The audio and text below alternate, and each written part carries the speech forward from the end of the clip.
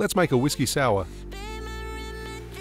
In a cocktail shaker, add 2 ounces 60ml of bourbon whiskey or rye if preferred.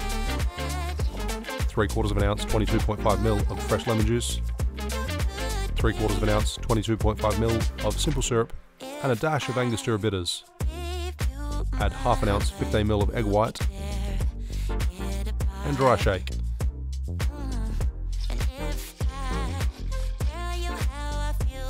Add plenty of ice and shake for a further 10 to 12 seconds.